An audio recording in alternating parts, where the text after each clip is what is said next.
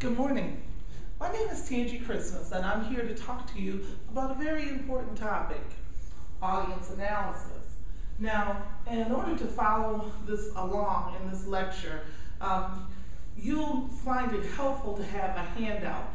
Um, and now, but this handout eh, that you received, if you're in my class, has blanks in it. So if you get into slides that look like this, don't be surprised. Just do the best you can to fill in the blanks. Pause the video if you need to, and um, you'll be right on track. I do the fill in the blanks for one reason and one reason only. Past students have told me that it helps them to connect with the material better. So um, if you have a disability of some sort that, and you're in my class and filling in the blanks becomes uh, a hindrance, let me know and we will modify uh, things so that we can accommodate you. In the meantime, I'm going to go to the version that does not have blanks in it so that we can get underway. Okay?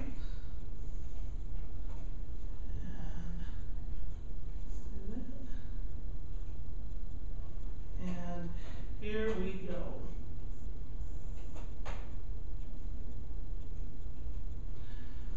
Audience analysis is a very important topic oftentimes is overlooked though because it does require a lot of legwork. Uh, what actually is audience analysis? Well, it's an information gathering process. Uh, why are you gathering this information? You're gathering relevant information so that you can adapt your presentation uh, in a manner that best suits those who, re who will receive your message. Now, it's like planning for a trip. Someone can offer you a fabulous trip, but if they don't tell you where you're going on the trip, it becomes very difficult to know how to pack. Uh, and prepare for that particular excursion. So the same holds true here. When I stand and give a presentation, I'm taking students on a journey. Uh, if I don't know my student, uh, my students very well, if I don't know my audience, that it becomes very difficult to know how to prepare the message so that the journey is successful. In any case, a common pitfall that a lot of speakers get into is judging their presentation based on their views. They, they think based on their beliefs, their values, their perceptions, that um, they can adequately uh, determine the effectiveness of the presentation. But um, instead, what you want to do is to see what you can do to look into the values, attitudes, and beliefs of those uh, who will receive your message. Again, we're going for the relevant ones. Uh, because they have a different mindset that you have. They come from a different vantage point, and um, you they may not see things the way that you see it. When you do this, this is known as perspective taking, and you should make note of that. You may see that on a future quiz or test if you're in my class. Yeah, learning how to put yourself in the seat of the person who received your message is a very important uh, skill set for a speaker to, to obtain. Now, what do we mean by attitudes? Well, every time a person encounters a presentation, they have a mindset, uh, a predisposition, uh, concerning that presentation. And um, the more you can understand that mindset, the easier it is to know what to pack in your presentation. Those attitudes or predispositions are based on beliefs and values. Well, let's take a closer look at those then. What are beliefs? Well, beliefs are our feelings about what is real. Okay? Uh, perception, there's a saying that, a quote that says perception is truth. It, it is in the mind's eye. If a person believes something to be a certain way, then it is. In, in college, I had a beautiful roommate. This girl during Valentine's Day would have a mailbox filled with, you know, uh, secret uh, cards from secret admirers and gifts from known admirers. And uh, while just while speaking one day, while teasing about, I said to her, "Oh, be quiet, old big head girl," and she just went off. And I thought, oh my gosh, what in the world happened? Well, I found out later that when she was growing up, she was in a household of five girls. She was the baby of five girls. And whenever her sisters didn't like something uh, that she was saying to them, they'd say to her, be quiet, old big head girl. And she actually started to believe somewhere in there that she had an enlarged head. Yes. And I'm sitting here going, you're ravishing. People are falling all over themselves to get your attention. And you actually think that you have an enlarged head. People don't, don't do that. But she that was that was truth in her mind. And it wasn't until she began to really think things through that uh, she challenged that mindset and actually saw the beautiful person that she really was inside and out. Those beliefs, however, come about because of values, and our values are those enduring standards that get placed within us uh, about what's good or bad, right or wrong, or simply important or unimportant. If you have a great topic, you spent a lot of time preparing, but your audience members don't see it as important, you're going to struggle to get that topic across to them. So uh, understanding that they don't uh, that they don't see the importance of it could be very key to the success of your presentation, and understanding how that value then spills over into a belief and influences a mindset uh, becomes uh, all, all, the more important. I want to show you an exercise that I think will help you understand it better. This exercise is located in uh, my online web uh, web study course and, and, and Learning Unit 3, okay? All right, so we're going to end this and collapse for a minute and go into that.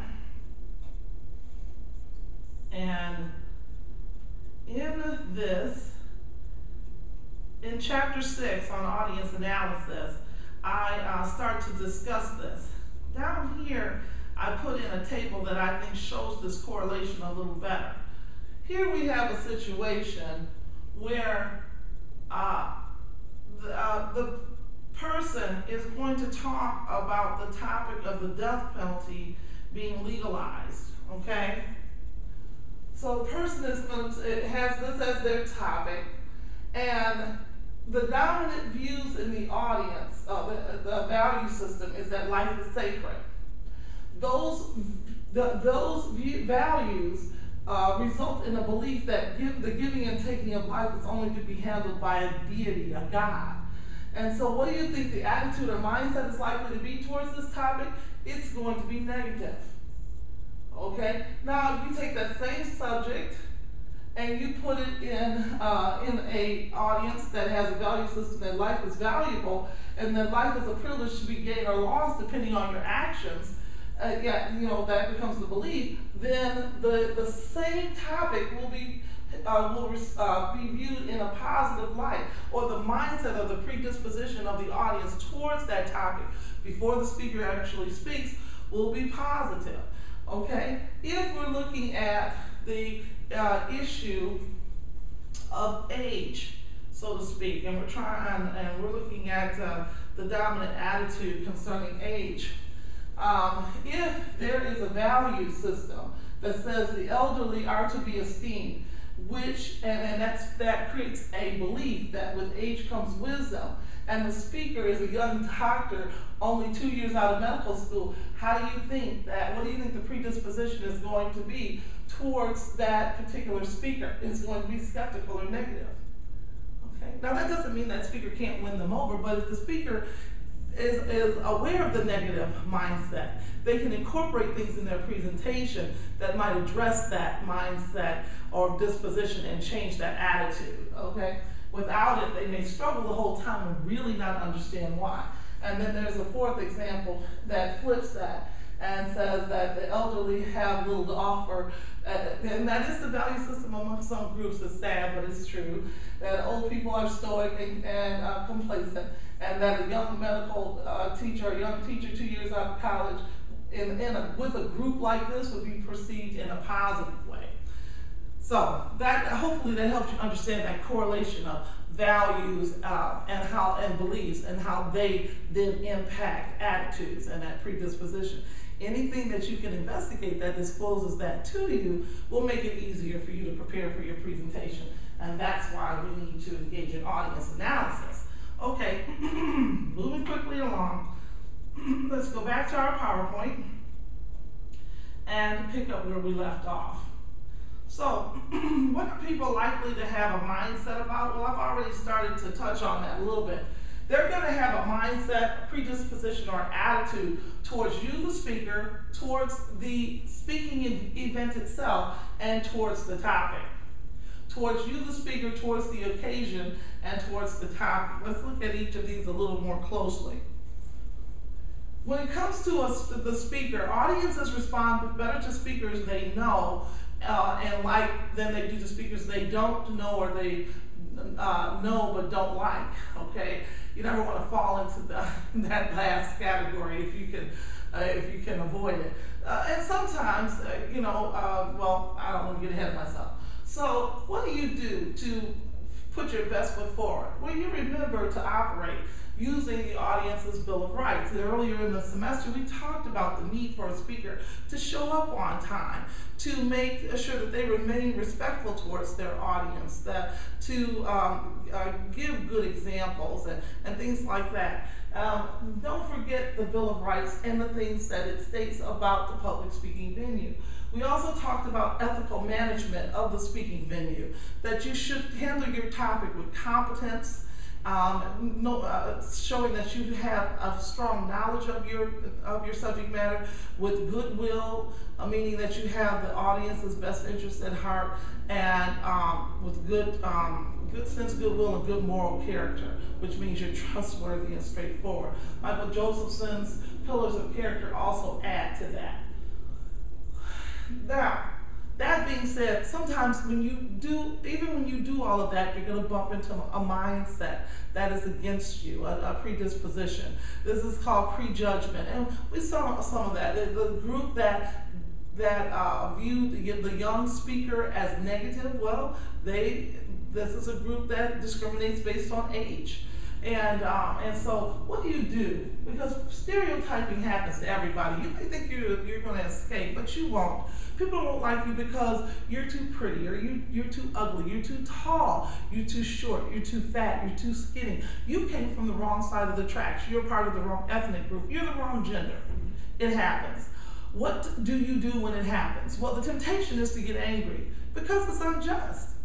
But you don't have the luxury of getting angry. A speaker that gets angry will just undermine their own success because they will just become an angry, angry version of whatever stereotype they've been labeled with. So get, get rid of that notion of getting angry. Uh, instead, what you want to do is you want to make sure that you work diligently at, uh, once you discover this mindset, at providing an example that's contrary to that. Help them understand that their stereotype has a flaw in it. By being different, and, uh, and, and a lot of times that will break it down. Now, this isn't fantasy land. It won't solve all of the issues, but it certainly will help more than getting angry would. When I went to college, I was uh, one of few minorities that went into certain classes. And my professors initially thought that I was cheating because they hadn't encountered a student of my ethnic background who could write as well as I could. And so they did all kinds of things. They did in-class assignments and took writing examples and all of that. And um, finally, after all of those antics, the one professor just came to me and confessed. But after he confessed, we became very good friends, and I ended up going to study abroad over in Europe. So, you know, don't get angry. Break down the stereotypes. I'm sure the next person that came in their classroom that had a similar background to mine had an easier trek of it because I did not get angry. I just, I stayed the course and, and tried to make a change. All right?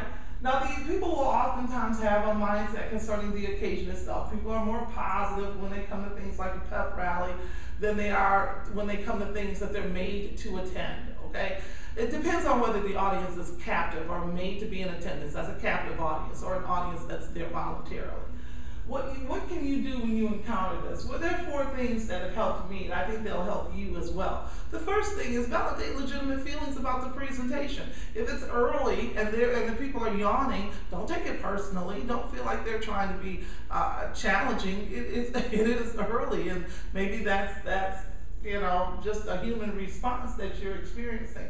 Also address any negative known assumptions about the presentation. Sometimes I'd go to talk to middle schoolers and their professors unknowingly would have them frightened about the presentation. They make them think that I was there to almost tell them off and to preach to them about getting good grades.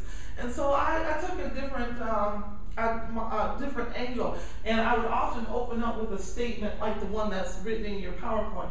And how many of you believe that this is going to be another boring presentation that tells you about getting good grades?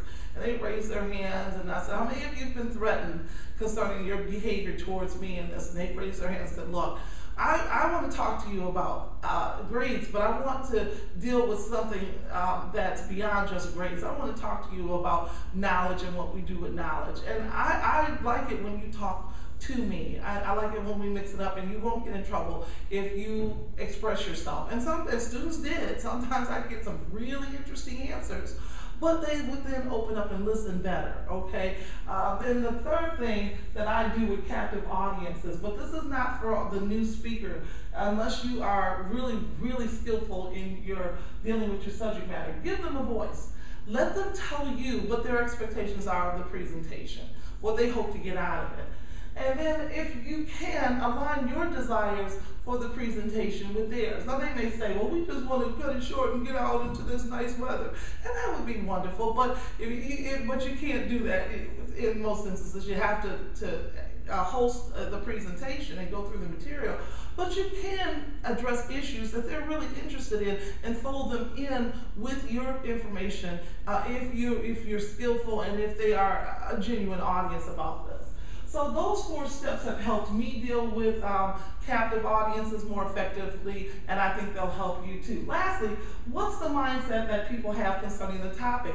Getting information that reveals this to you can be very important. There are different, uh, different ways to, uh, different questions to ask that can help reveal this. One, what do listeners know about your subject? If they're already well versed on it, you don't need to lay as much of a foundation. If they don't know anything about it, you may then then the foundation may be needed. What level of interest do they have in it? If they're very interested in it, you don't have to uh, incorporate things to build interest. If they're not, then you know you have some legwork to do. And lastly, do they have feelings about this subject? Are they emotional about it in any way? Usually, the person who invited you to speak can disclose these things to you if you don't know much about your audience. But there are other ways to get information. Uh, and that's what we're going to go into next. But for the sake of time, I'm going to cut it off right now and give you a break from the material uh, and then come back and we'll talk about different ways you can discover uh, the attitudes uh, that people have about you, the speaker, about the occasion itself, and uh, ultimately about the topic you're going to uh, discuss. Thanks. Hmm.